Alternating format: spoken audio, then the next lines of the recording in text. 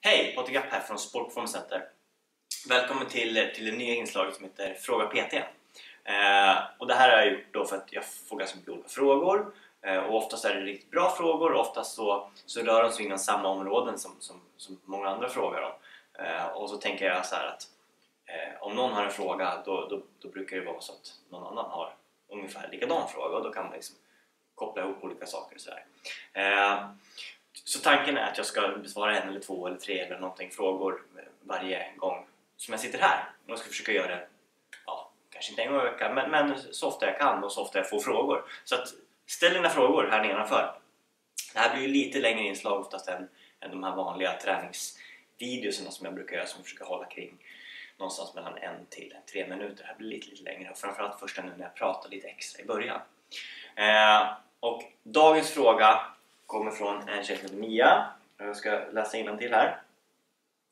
Eh, I somras har jag börjat konditionsträna på cykel.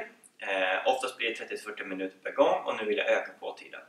Problemet är att jag domnar i händerna när jag cyklar längre sträckor. Vad kan det bero på? Går det att göra någonting åt det?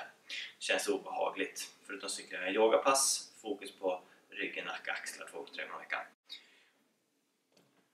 Och när det kommer liksom till domningar i händer och sånt där då, då, då börjar man reagera liksom direkt. Då tänker man så nerver och sånt där och, och, och, då är det alltid, ska jag säga, bra att besöka en, en fysioterapeut eller någon som, som är duktig på nerver som, som kan undersöka. Eh, så man har det, det klart för sig, för det finns ju vissa grejer man kan göra och, och eh, men, men generellt sett när det kommer till nerver och, och i underarmar och fingrar då är det ju avlastning som gäller. Eh, så att, man ska inte säga att sluta cykla men man, man kanske ska fundera på styre, eh, hur man håller händerna och så vidare. Kanske besöka någon sån här som, som kan titta på ens ställning när man sitter på cykel, sån här cykelklinik tror jag det heter. Eh, och sen så tror jag att det är bra att du tränar upp eh, rygg, axlar, bål kanske så att man inte ligger för mycket och pressar så utan att man kan hålla upp kroppen och inte hänger på styret så mycket. Så uh, bålstabilitet, rörligt i höften väldigt, väldigt bra. Eh, så det inte blir för liksom, blir det för tight här i höften då ligger man och belastar för mycket så att man kan öppna upp det lite grann. Eh, jag tror också att det är bra att jobba med styrka kring, kring överkroppen. Jag kan länka till en övning som heter band pull apart och en, en rotationsövning med viktplatta bakom ryggen som jag också tycker som jag gör mycket på mina cyklister för att liksom stärka upp. Eh, sen finns det grejer man kan göra för, för underarmar och så här för att liksom stärka upp det där och, och stretcha ut. Uh, men då ska man vara noga liksom att är det nervskada eller, eller nerv, nervklämning eller sån här impingement eller vad, är, vad kan det vara? Alltså, ta reda på det först. Men annars finns det lite stretchövningar man kan göra för underarmen och eh, då gillar jag den här såklart att man, man sträcker så. Men här brukar jag också att förutom att jag sträcker så vrider jag liksom, lillfingerskanten till sidan. Så att först får jag maxsträck och så vrider jag. Den gillar jag ju.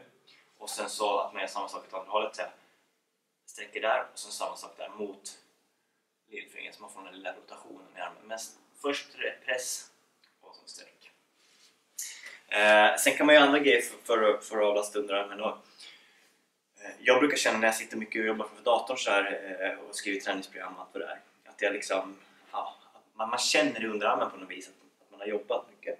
Och då brukar jag använda antingen en sån här som en, en boll då, så kan man jobba framförallt med musklerna under armen och försöka nästan lite som massage, att man jobbar mjuka fina rörelser, försöka hitta områden som, som är ömma lite grann och är där en stund.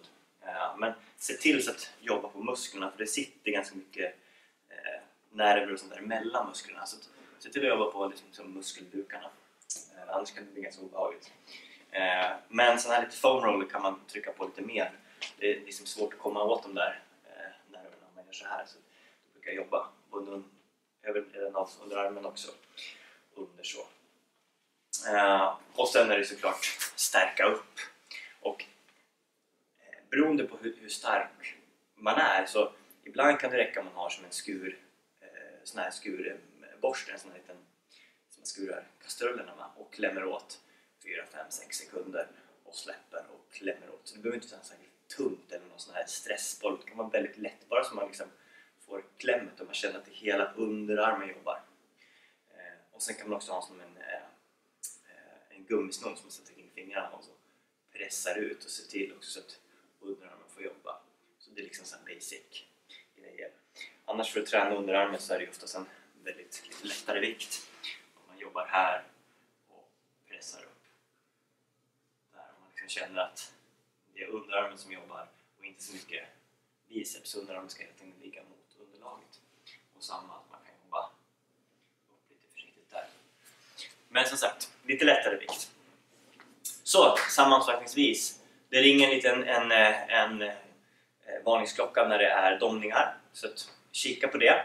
Eh, stärk upp eh, bröstrygg, eh, bål, eh, hela liksom rygg, ryggpartiet för att kunna hålla dig uppe på cykeln istället för att eh, ligga och pressa för att kunna just avlasta armar. Eh, jobba med lite rörlighet kring höften för att kunna trampa igenom och ge eh, rygg och bål de bästa förutsättningarna att jobba. Eh, börja jobba lite stretch, rörlighet för, för just underarmarna för att avlasta det där. Eh, det är mina små, små tips. Så att, eh, lycka till med det, hör av dig hur det går och eh, har ni någon mer fråga eller, eller är det någon som har en fråga som, som ni tycker att, att ni vill ha besvarad så skriv med kommentarerna nere. Det här är bara jätteroligt och det ger mig också en chans att få läsa på lite extra om, om, om saker och ting som jag, som jag eh, har kanske glömt bort eller som jag inte kan så mycket om. Och så där. så att, eh, ingen fråga är, är för svår hoppas jag, eh, utan släng på mig bara så ses vi nästa gång i Fråga Peter.